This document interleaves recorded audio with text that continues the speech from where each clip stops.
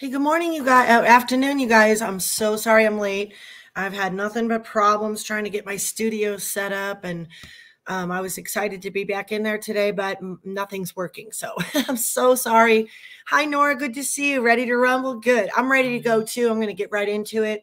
Just going to give you a brief overview of what uh, the week is going to look like for me um, because you know, I do intend to do Monday, Wednesday, Friday. Last Friday, I was ill. And so the Friday before, I had issues too. So I do intend to do it on Friday as well, you guys. I didn't mean to just blow it off and uh, not inform you, but um, here we go. And so I'm getting my Podbean set up as well so that you guys can just listen because this really is kind of a listening study. There is a lot of visuals too, but you know, um, it's I was thinking this is a perfect podcast because it's really a lot of reading a lot of times. And so, you know, it's great for the drive. I want to thank everybody who is hanging out with me uh, with the study and who takes the time to learn our history and who actually has, excuse me, a desire excuse me, to learn about our Constitution and to learn about our remedies and our laws and what we can do to make things better. Instead of just sitting around and bitching on and on and on and on and on. It's been three years on YouTube, and I just see a lot of people talking the same conversation. What'd you have for dinner? What'd you do this day? What'd you? And that's great. I love having the conversations, but I'm really thankful for people who are actually taking actionable items.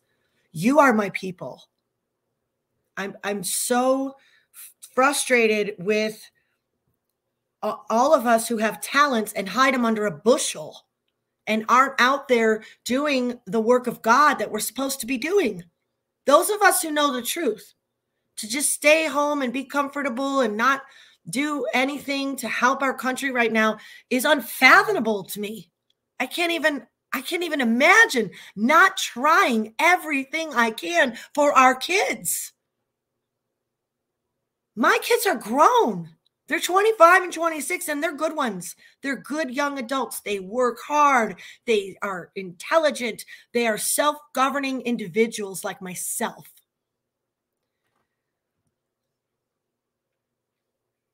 I'm learning so much too, and I don't mean to sound so mean. I mean to sound thankful and grateful to everyone who is taking their time to educate themselves about our country. I don't know how to encourage more people to do it. I, I, really, it's fun. I'm learning so much. We're bonding here. We're, we're, you know, excited about the potential here without taking actionable items though and educating myself i would be a, in a hopeless despair day after day. So i just want to encourage you guys to jump in. We're only on lesson 13 here it's going to take us years to get through this at this pace. I hope i'm able to pick it up and um, go faster but what's more important than anything right now is actually retaining the information and understanding it. So so there, there's my spiel, welcoming everybody uh, who's going to watch the replay, also who's not in here right now. Um, you know, this is this is a 20 minute study three days a week, and I promise you, if you listen in, you are going to learn so much. Nora and I are learning so much, and it's cool, it's exciting, it's fun. It helped me helps me to wrap my mind around what is going on here. You you cannot explain what the problems are to someone and they won't fully grasp it unless they really know our history and our laws. And this is the most comprehensive study about the Constitution. It is said to be better than Hillsdale College study about the Constitution because Hillsdale goes off and starts teaching you about government. Don't we really just want to know what our Constitution laws and rights are? I do. I don't care about someone's interpretation about the government. That's where we get into all kinds of trouble. So, if you're new to following along, what you can do is go to standuphumble.news. If you go you go to dot news, you go all the way to the right tab where it says the Constitution. Click on the tab. The first uh, Drop down menu item is the Constitution study. Go to there. I'm going to read straight from here today. I was able to actually get these in order today. And um, I'm just, this is a straight read today. The, you know, we're in the binder study. The binder uh, we read last week. Let's see, let's find our binder study. We're not even on question one yet. Okay, we're on number 13. We're in session two, and we haven't even got to question one yet because they've got this special thing called introduction, suggested reading. Well, we're doing the suggested reading. I wouldn't dare skip the suggested reading. Last Wednesday, I read The Genius of Natural Law. Now we're today we're reading The Man Who Discovered America's Freedom Formula. And we're still not even going to be done with the introduction then. Wednesday, I'll come back and read another 11 pages to you. So today is a straight read. I'm not answering any questions yet. I was advised to keep these down to 20 and 30 minutes. If I were to go through this whole session, it would probably take an hour or two. I'd like to go through the whole thing, but hi, Jerry Lee. Good to see you, honey. Okay, so we're going to start right here. Um, right here, we're going to be reading these 10 pages and they are right here on the screen for you. These will be up until Wednesday when we do our new study. Then these will be removed. And for our visual educational purposes, these will be up for the lesson only. Okay, so here we go. God help me study my words and just do good. help my tongue to speak well. Amen. Okay, here we go. The man who discovered America's freedom formula. Let's see how how many minutes are we in here? 7 minutes, not too bad. Okay. One of the most exciting stories in America's history is the account of the man who tunneled back into the ancient past and was among the first to rediscover the remarkable formula which allowed the United States to become the first free nation in modern times. As a matter of fact, it took the early Americans 180 years to put it all together, but when it finally settled into place, their formula ignited the fires of freedom all over the world. Perhaps there is such there is a tendency to take much of this for granted. However, the founders warned us that their formula for freedom could be lost in a single generation. No doubt our appreciation of the founder's achievement will be stimulated by briefly tracing the fascinating explorations of the one man who probably had as much influence on the final results as any living person in that day. Who was Thomas Jefferson? Practically every American knows the name of Thomas Jefferson, but very few Americans know his story. We will first record a few biological facts and then present Jefferson's little known discovery, in which he uncovered the ancient formula for a society based on freedom, prosperity, and peace. Thomas Jefferson was born April 13, 1743, up near the Blue Ridge Mountains, up of what is now the western section of the state of Virginia. By that time, George Washington was 11 years old.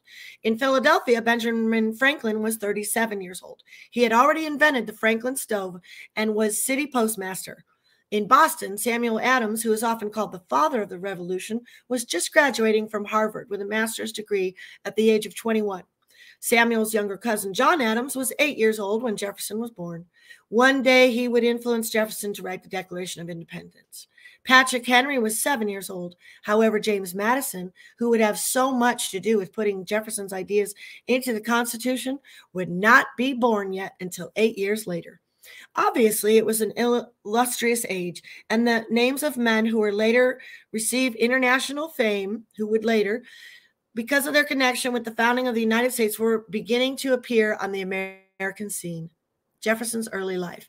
Jefferson was born at Shadwell on the Rivanna River, which forms one of the headwaters of the James River. It was rugged frontier country. Jefferson never considered himself an aristocrat dandy, even though his mother was from the prominent Randolph family and his father was a member of the House of Burgess. Tom, young Tom took pride in the fact that his father, Peter Jefferson, was not only the hardest working man he had ever seen, but was also reputed to be one of the strongest men in the whole Dominion. It was said that he could uphand two tobacco hogsheads at the same time, each weighing over 500 pounds. What? Was he a giant? Peter Jefferson helped survey and draw the first accurate map of Virginia. He was Justice of the Peace and a lieutenant colonel in the county militia. Tom's father had tremendous influence in shaping the character of his son and inspiring him with a powerful sense of commitment in building up the great new American Commonwealth.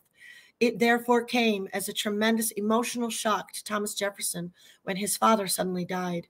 Young Jefferson was then only the age of 14. This made Thomas Jefferson the head of his family.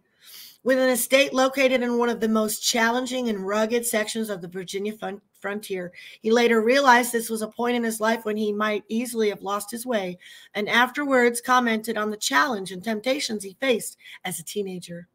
When I recollect that at 14 years of age, the whole care and direction of myself was thrown on myself entirely, without a relation or friend qualified to advise or guide me, and recollect the various sorts of bad company with which I associated from time to time, I am astonished I did not turn off with some of them and become as worthless to society as they were. Graduates from college at age 19. Fortunately, his father's will provided sufficient funds for him to further his education. Jefferson first dug into Latin and Greek so he could read classical works in their original languages. He seems to have been equally diligent in other studies. By the age of 16, he was allowed to enter the College of William and Mary in Virginia capital city of Williamsburg. He entered it as an advanced student. Even at 16, he was remarkably well developed. At around six feet two inches in height, he stood nearly a head taller than the average citizen of those days. One who knew him at this time described him as follows He was fresh, bright, healthy looking youth with large hands and feet, red hair. He was redhead? I didn't know that.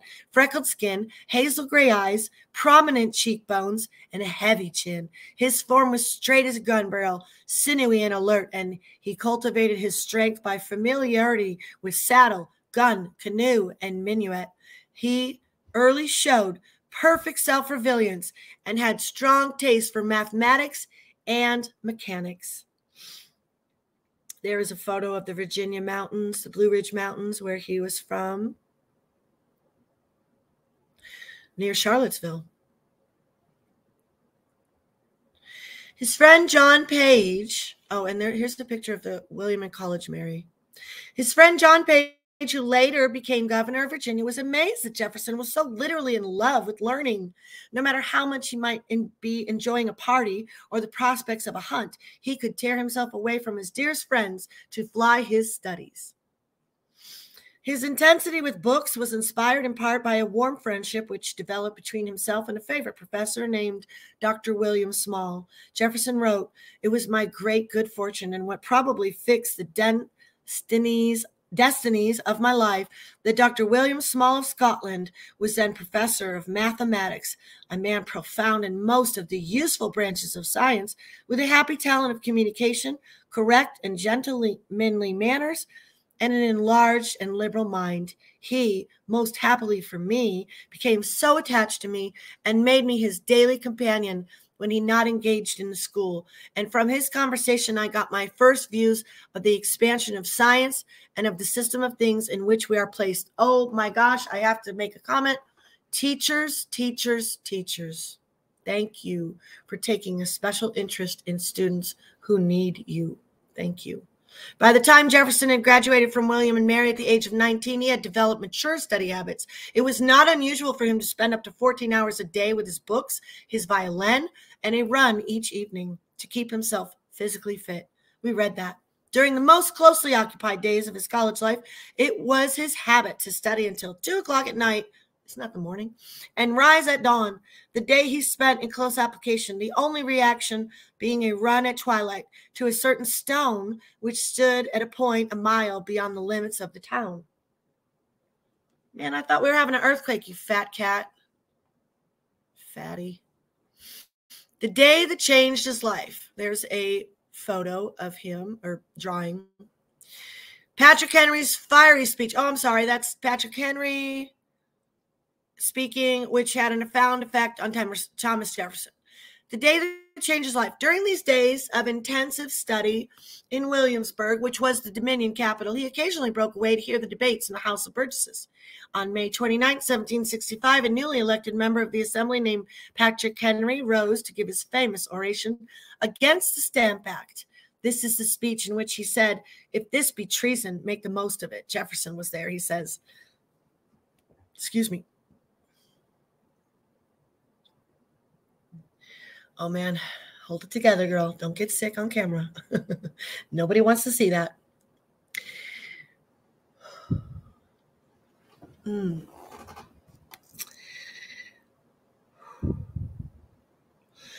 I attended the debate standing at the door of the lobby of the House of Burgesses and heard the splendid display of Mr. Henry's talents as a popular orator. They were great indeed, such as I have never heard from any other man. He appeared to me to speak as Homer wrote. Something remarkable happened to Thomas Jefferson that day as he stood listening intently to Patrick Henry's eloquent denunciation of the abuses that were being heaped upon the American colonies. It kindled a flame in his soul. He felt such a surge of fervor for the cause of freedom and justice that the flame burned brightly the rest of his days. He later referred to this and as an important day of his life, as the most important day of his life. He is admitted to the bar. In the early 1767, Jefferson was brought before the General Court of Virginia for an oral examination to gain admittance to the bar. He was being sponsored by George Wythe, the Virginia's foremost legal authority. Since most lawyers submitted themselves to the bar examination after little more than six months' preparation, Jefferson's erudite young and mind created quite a stir among the judges that day. No matter what the subject, he seemed to know more than they did. It must have pleased George Wythe to see his brilliant pupil respond to the penetrating questions from the gentleman on the bench. At the age of 23, Jefferson was admitted to the bar and immediately moved back to his hometown of Shadwell, where he began the practice of law. The next year, he was elected to represent in his county in the House of Burgess. Young Thomas Jefferson's three distinguished friends. Striving for excellence was Thomas Jefferson's natural habit, and the ability he achieved with three hours a day on the violin paid off handsomely in several phases of his life. Three hours? During his college days, it brought him to the attention of the royal governor, Francis Fauquier. The governor was no ordinary politician, but a former student and protege of Sir Isaac Newton in England. Fauquier was an economist in some repute a student of physics, and a fellow of the Royal Society of England. Oh, excuse me, of the Royal Society of England. We have already mentioned he first of Jefferson, the, the first of Jefferson's distinguished friends, Professor William Small, and it was the professor who introduced Jefferson to Governor Fauquier. Before long, the governor had Jefferson playing his violin in weekly concerts conducted at the governor's palace.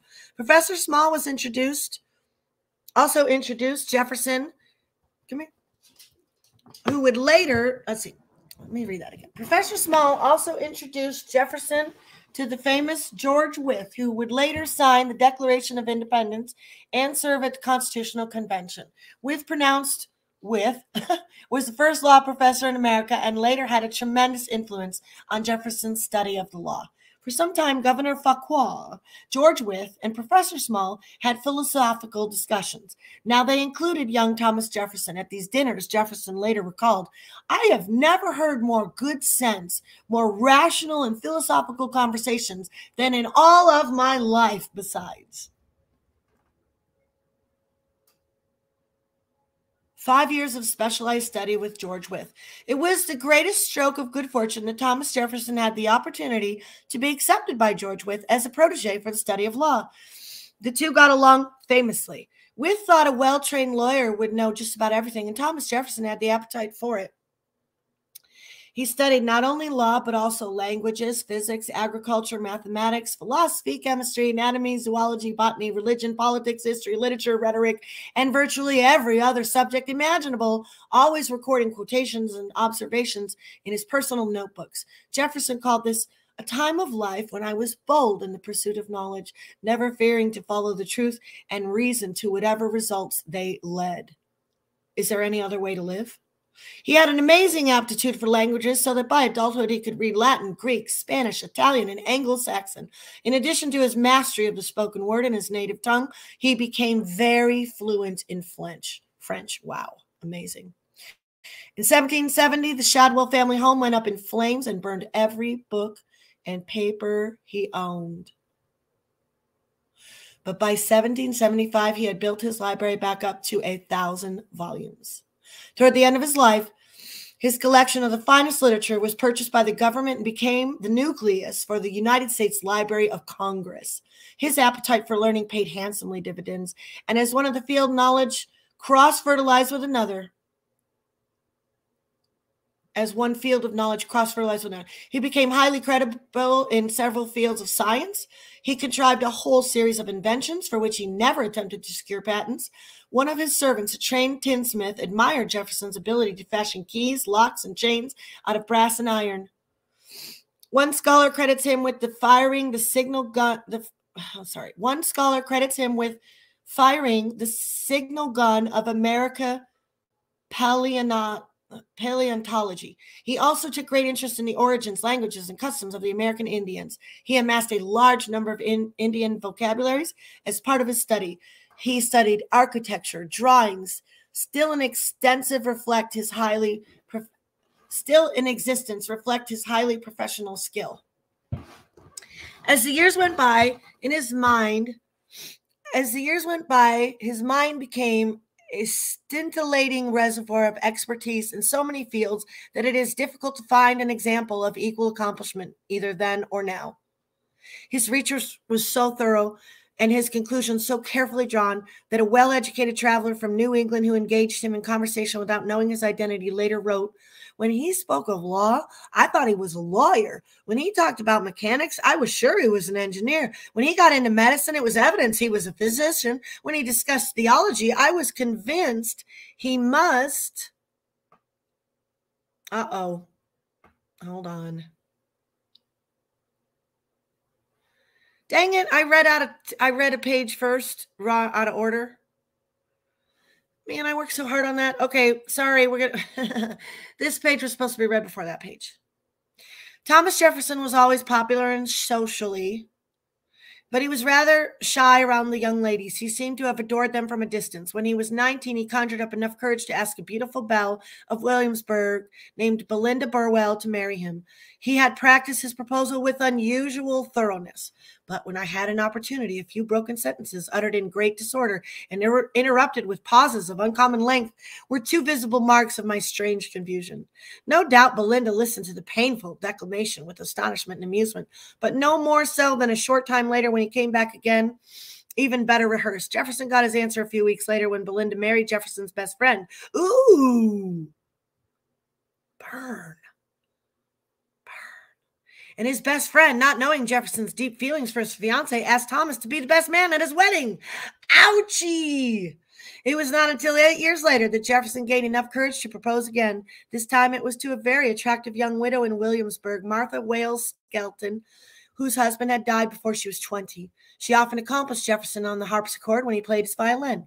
From this association, a romance developed of the classical variety, which is usually found only in storybooks. Jefferson built a beautiful home for his new bride called Monticello, which is today one of the most famous houses in America. Monticello, Jefferson's home, which he designed and built himself. Is there anything else this guy hasn't done? I mean, come on. oh my goodness. Um, oh yes, and let me go back to that page where I read the wrong sentence. I was convinced he must be by a clergyman when he talked of literature. I made up my mind that I had run against a college professor who knew everything. During August 1774, Jefferson wrote a paper which sent his name skirting across the Atlantic to England. It was called A Summary View of the Rights of the British American. America. It provided a legal history and political analysis of the rights of the English colonists in America and accused the Crown of ignoring and abusing those rights.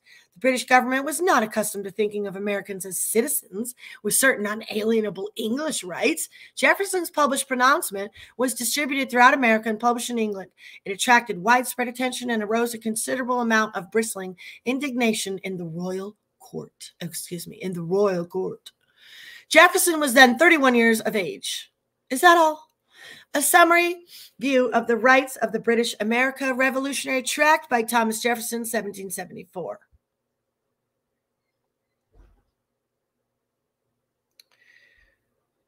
British America set forth some resolution intended for the inspection of the present delegates of the people of Virginia now in convention be a native and member of the House of Burgesses. All right, let's read this.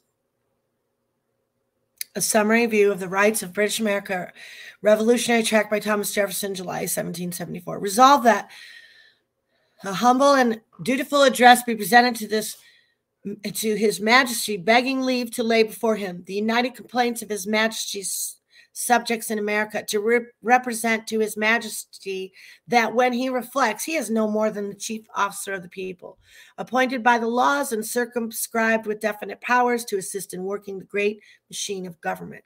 Single acts of tyranny may be ascribed to the accidental opinion of a day, but a series of oppressions pursued unalterably through every change of ministers too plainly prove a deliberate systematical plan of reducing us to slavery can any one reason be assigned why 160,000 electors in the island of Great Britain should give law to four millions in the states of America, every individual of whom is equal to every individual of them in virtue, in understanding, and in bodily strength? While the people have delegated the powers of legislation, when they are dissolved, the power reverts to the people, who may use it to unlimited extent. We forbear to trace consequences further. The dangers are conspicuous. Open your breast, sire, to liberal and expanded thought. Let not the name of George III be a blot in the page of history.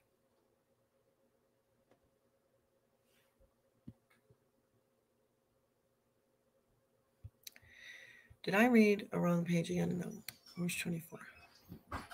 Young Jefferson goes to Congress. By 1775, the tide of history was running fast. American blood had been shed by British redcoats at Lexington and Concord on April 19th. I love you. Then came the Battle of Bunker Hill, actually Breed's Hill, on June 17th, where more than 450 Americans were shot or bayoneted. No doubt Jefferson was among those who wondered if King George was suffering from another of the fits of insanity which plagued him from time to time. Nothing seemed to appease the king, neither a pre offered payment for the Boston tea nor pleas of loyal submission. He seemed determined to treat Americans as some of his most ferocious enemies. All civil government was suspended in Massachusetts, and Boston was occupied first by General Gage and later by General Howe as the commander in chief of all British troops in America. Like other Americans, Jefferson wondered where it would all end. Jefferson was sent to the Second Continental Congress in Philadelphia, arriving June 20, 20th, 1775. He was one of the youngest members present. Only John Jay of New York was slightly younger. In the fall, Jefferson had to leave the Congress because of the death of his 18 month old daughter. His wife and his mother were also very ill. There were dark forebodings as the tide of history moved in upon the American colonies in January of 1776. Word came that the American expedition to capture Quebec had failed. General Montgomery was killed, and Benedict Arnold, who had been a hero in this campaign, was wounded. It was only a matter of months before the Americans were driven out of Canada completely. Jefferson was also extremely concerned about the bad news from Boston. Washington had lost over 400 of his soldiers. Many of those remaining were sick. Others were disheartened. When their enlistments were up, a mere handful reenlisted. And since the British would not come out and fight, Washington reported that the restless Americans passed much of the time simply fighting among themselves. To make matters worse, King George virtually disowned the American colonies. He announced that if the colonies were attacked by foreign foes, Britain would furnish no help. American ships were declared to be free booty, which meant it would be legal to capture any American vessel in the high seas and take it over, cargo and all. As for the crew, they would be impressed into the British Navy. It was this dismal setting that Thomas Jefferson commenced what would turn out to be one of the most important years of his life, but he would later have scarcely suspected it. His mother died on March 31st, which was a great blow to Jefferson. He suffered excruciating migraine headaches for the next five weeks after his mother died. His tensions were further aggravated when he read the six drafts which had been submitted for a Virginia Constitution. All were defective, even though they had been drafted by such illustrative patriots as John Adams, Richard Henry Lee, Meriwether Smith, George Mason, Carter Braxton, Patrick Henry, and others of high repute. It was obvious that the best minds in the country were still struggling to find proper formulas for the efficient self government of a free and independent state. Jefferson therefore decided to try his own hand at Constitution writing. In spite of his morning and migraine headaches, Jefferson wrote three separate drafts during the first five weeks. However, he was robbed of the pleasure of delivering them personally on the legislative in Williamsburg because he was sent as a delegate to Congress. He arrived in Philadelphia on May 14th carrying the third draft in his pocket. The longer Jefferson stayed in Philadelphia, the worse he felt. He made an intense anxiety to be in Williamsburg. Finally, Jefferson wrote a letter requesting that he be given a leave of absence from Congress so he could lend a hand in writing the Virginia Constitution. Fortunately, his request was denied. Had it been otherwise, he would have missed the greatest honor of his life, the privilege of writing the Declaration of Independence. Frustrated and disappointed, Jefferson sent his third draft to the Virginia legislature. However, they only used an insignificant portion of it. His constitution would over- overturn the whole aristocrat structure of the state. Virginia was not yet ready for such a revolutionary change. That is our reading for today. 30 minutes. Nah, not too bad. Not too bad. Hi, guys. Nice to see you. Nice to see you all here. Thank you so much for being here. Hey, Patriot Starfighter. Good to see you. I've been seeing you around. Um, yeah, wow, what a life he had. You know, we, we've heard a lot about Thomas Jefferson in school, you know, but I don't think they ever really gave us that story right? I don't think they ever really gave us that story. Um, House of Burgess is nice. Yeah, you heard in history class, it stuck in my head because it was fitting. Yeah, really mind blowing, right, Nora? Thank you guys for being here. I appreciate y'all so much. I'm not sure if I'll see you later or not. I'm not feeling so hot. I wanted to come on and do a ramp stream. I got a lot of things I'm upset about. Yeah, but I got some company coming. We're going to have three boys under six years old here for the next four days. And my husband and I feel like we got grandkids coming, but these kids that had the kids are our friends. They're not like our kids, but we're pumped, you guys. I'm going to have some littles, and I haven't been around littles in a while. So, you know, I'm really excited to be able to hang out with them. But I'll still be doing my class on Wednesday. I'm going to be streaming with Mike Collum from the Renegade Nation this week. I'm going to be streaming with Louie. We're going to be talking about our vendor event that's coming up, Tax Day. If you want to know new ways to do business, uh, Red Lion Inn, April 15th, uh, is going to be my first big event, Humboldt County. I'm doing it. I'm hosting it. I'm putting it together. I'm a little nervous about it, but you know what? God is already moving and bringing such good men and women into my sphere right now that it's just it's already it's already there. I just have to do a very little bit of work. So if you know any small business owners in Humboldt County that are interested in accepting silver as currency, that are interested in learning what private membership associations are, that are interested in the real laws of the land and not what this corrupt government tells us are, then I hope you can come and make it. I will be doing some streaming from the event also, so you guys can all see it. I love you all. Thank you for coming. And um, you know, I think reading our Bible and reading our Constitution right now are the best things we can do. If you can chunk out some time in each day. Look, Jefferson did three hours on his violin. You know, we could do, can't we do 10 minutes, 15, 20 minutes of reading some good literature? Because the problem that we, that I, the way I see it is we are really uh we're falling away. In the end they're all led astray by their own devices. I never really realized how much our devices were going to be our downfall. We can watch whatever we want whenever we want. Did you know that the biggest problem in america um, is trying to figure out how we're going to be entertained tonight well, how are we going to entertain ourselves? To, um, these guys that gave us this freedom that we have to just do whatever we want, they sacrificed for us. I implore you, I beg you, I encourage you to please read literature of old because we're speaking in Babel we don't know our rights. We don't know these government's limitations. We don't know our remedies. And it's because we're real busy being entertained by the next movie or series on Netflix or, you know, whatever. And I'm guilty of it too. I'm totally guilty of it too. But I'm I'm making myself do this and I'm I've set this time aside for me and for you guys. So if you can just hang out with me I know maybe it's not the most exciting thing and you could do other things with your time, but I thank you guys for coming and hanging out with me. Last Wednesday there was nobody in the chat. Everybody was in another room and and I get it. You know, you can watch this on a replay. It's not going to be much different, you know. So I don't I don't I'm not going to be the most popular uh YouTuber here, but I'm going to keep asking you guys to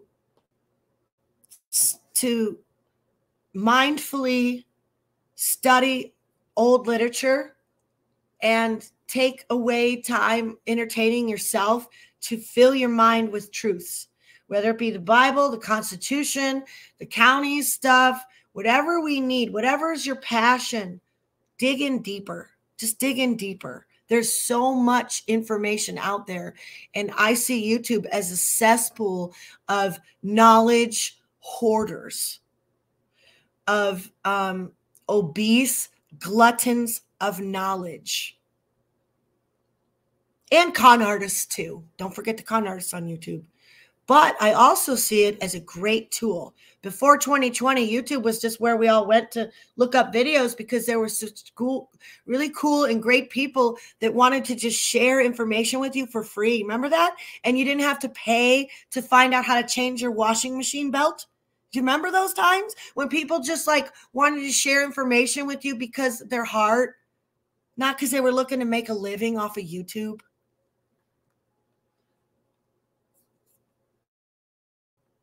Polly, good to see you, brother. Good, well, I want to go find out what you've been learning. Do you have a channel? I mean, I know you have a channel because I, well, I don't know that you have a channel, but you have to have a channel to be on, right? Um, do you teach stuff? Like I like to go and sit and learn too. I watch people that are giving time free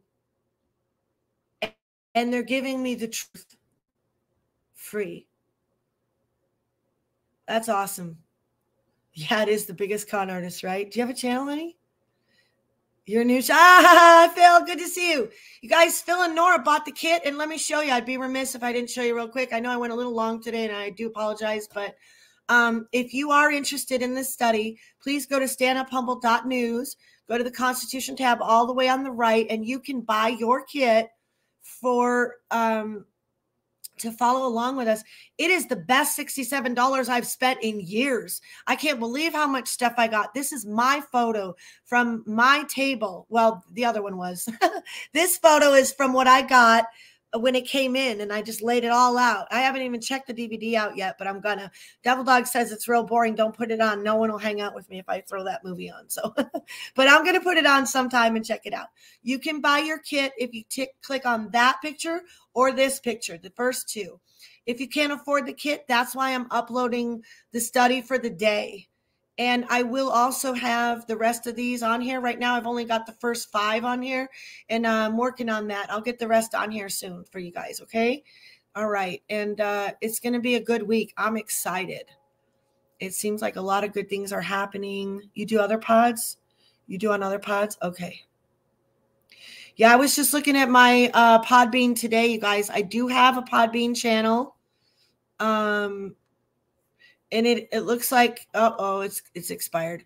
It is standuphumble.com so pretty soon i will get that going. And then if you guys don't want to like put on youtube and just listen and no audio um that's what i'll do. Well worth it right? Yeah it's well worth it. Nothing makes you feel better I don't know. For me, I'm I'm a news junkie too. I don't just want that news, but I want that solution. I want to apply my hands and feet and my knowledge and my talent that God gave me to make a difference. We are all little fish in big pond. We can all make a huge difference. You don't have to be a super big personality to make waves these days because a lot of people are just kind of sleepwalking through life. You don't really have to do much to get noticed as a mover and a shaker in today's times, right? Thank you, sweetheart. Yeah, I just don't feel good. What happened? Are you in California? Newsom was laid out at the wall at Giddy nine weeks ago. Man, all I do know is that is not Newsom, and it hasn't been Newsom for a long time. Neither is Fetterman, neither is Biden, neither is Kamala Harris, neither is Nancy Pelosi because you know what? I've paid attention to these people for years, and I'm not so stupid that they just have to put a somewhat look-alike. Let me show you some pictures. Let me show you some pictures. I'm going to get off. I'll probably cut this out for this for the study. But um, since you're all still here talking with me, let me show you some things I've discovered. There's a couple memes going around about. There's a meme going on around about Fetterman that shows his death. I mean, you know, if you go look on uh check this out. If you go look on uh Bill and Melinda Gates on uh what's it called? What's that? Ancestry? They've been dead since 2013. So who the hell are the people that are going around touting that they're Bill and Melinda Gates? Or is Ancestry lying? Do you know what a crisis actor is? Do you know why the um, Constitution book, the Catechism book, first question says, What country do you live in? Some people in America today live in the United, the, the, uh, what is it, how's it go? Corporation of the US, US Corporation of America, and some of us live in the United States of America. Did you know that? It's true. It's true. And the people that don't know that they are um that there is a real America with a real constitution here, they're stuck in the fake America by the fake corporation that owns the media and that's how they're able to do it. And um Hollywood they're all fakers, okay? They're fakers. These people are fake the people that are sitting in the board of supervisors and the city council meetings in Humboldt County, they have no proper oath or bond. Why do you think I constantly refer to them as crisis actors, frauds, criminals? Because they are. Because they are. They are not our public servants, you guys. They're not. They're fakers. They're fakers.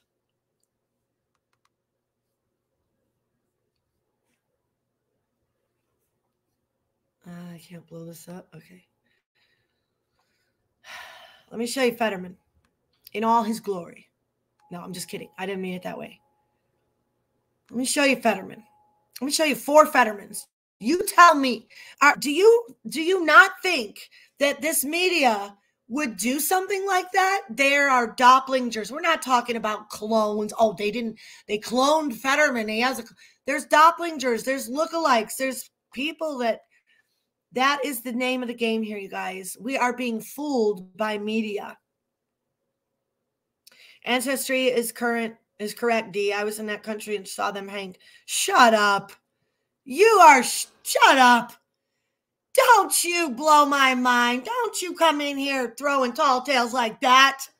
What do you mean you've seen him hanged? I want a picture. Do you got a link for that? wow. Mask clones and CGI. Yeah, mask clones. I've seen the mask. I've seen how they work. I mean, I've seen chicks take off full on bodysuits. They don't even have boobies under there. They were guys. They looked like chicks, right? Google Central Casting. What? That's crazy. All right, check this out. This is Fetterman for you. Oh no, wrong one. This is Fetterman, huh? This is Fetterman. This guy in the bottom left is who they're touting out to you and telling you, yeah, this is Fetterman. His ears are different. His nose is different. His eyes are different. We're dumb dumbs. You know, the whole, um, what's that called when they put in a, an actor when it's a dangerous scene? The guy out of the shadows was one of those. What are they called when they're they're they're the, the, the replacement actor, right? When they do the danger stuff. That is where we first started getting fooled, and they realized how easy it was to fool us. It's like, oh yeah, we'll put in the double, the stunt double. It's a stunt double, right? We'll put in the stunt double. Okay, so the people that are in Humboldt County that I'm saying are not real people, they are real people, but they're they're crisis actors. They don't have a proper oath or bond. Their asses should not be sitting up in there telling us or ruling over us nothing. Our asses should be there with pitchforks and shovels and telling them to GTFO now. So I can't really talk about this stuff anymore much. You can tell I get really pissed off and I get really fleshed out and I don't hold my composure because I'm dealing with fraudulent criminals that are murdering our children and they're murdering people in my community. Okay, they are murderers. They are murderers, they're liars. There's no other way to put it. I'm not going to sugarcoat this crap. These people are murderers. I'm going to leave it off on this video I took yesterday. I uploaded it briefly. I I had it on stand up for a minute and then I took it down because it just I know, babe. I know. You just can't, right?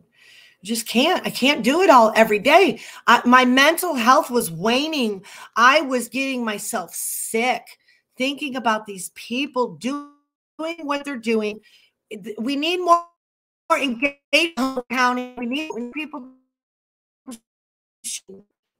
we really do. We really do.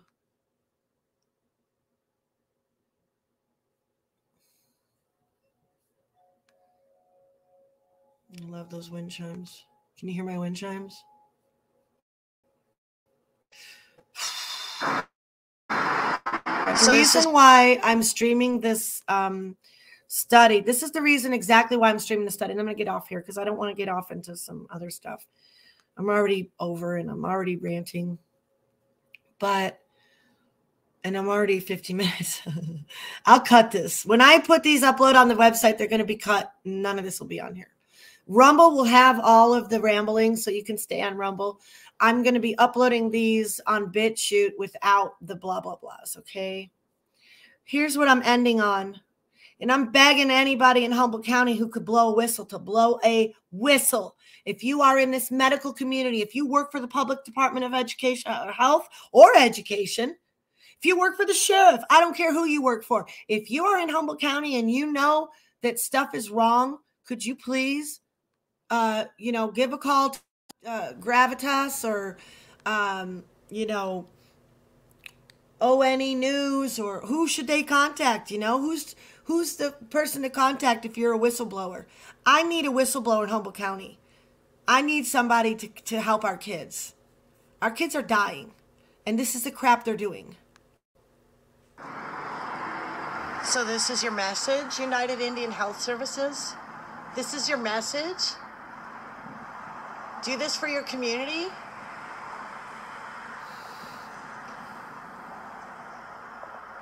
You know, you need to learn your history. This is a disgrace. Look around the world, fools. That wasn't the right one I wanted, but that's okay. Um, it's okay. It doesn't matter. That's that's the sign right when you come into Eureka. I have had two billboard signs removed taking Peggy Hall's advice. Here's something keyboard warriors can do. You can go to the Department of public transportation and complain about any billboards like that. I did it. I had two removed here in Humboldt County, and now they're back. And you know what they did? Because by law, they're only allowed to have three words if it's a public service announcement. Okay. And then, of course, what they did is they used the natives and their land and they're able to put those messages up. But on public property, you're not supposed to have any community messages, any public service announcements that are more than three words. So you can have those billboards removed, and I definitely am going to have that billboard removed. Thank you, Peggy Hall, for teaching us how to do that. I've I've done some things. I don't tout about all the stuff I do all the time. I don't really like hearing people talk about everything they've done. I would like another lips to praise me, thank you very much, and not my own. I'm not into that, you know. Hi, Lauren Price. Good to see you. No, they don't like it, do they? They have kept us separate the first year or two, getting my channels taken down, getting them knocked down. Everybody I was following, getting their channel. They really did us dirty, didn't they? they I mean, we could have been assembled a lot faster had this censoring not come about us, which is why our First Amendment is so important. But when you're building on other people's lands like YouTube, you don't get to complain. This is their platform, it's not mine. I'm using their platform, so I have to put up with their nonsense. Even though I'm an American and this is America and they shouldn't be censoring us, they do that, don't they? They do do that. A gas stove ban is coming. Oh, they're going to try to tell you to freeze your ass off legally. America, when you're ready to stand up anytime, we're ready for you. The state assemblies are together, grand juries are forming. Uh, unlawful sheriffs aren't going to be around forever. You may look like you got it made right now, but I don't know how you sleep at night, quite frankly. I don't know how any of you people that are still going along to get along with COVID are even allowed to walk down the street. I better never run into you, Johnny Kell, nurse of Humboldt County. I better never, ever run into you in town because I'll probably end up in jail. This is just, I, I can't even. I just better get off.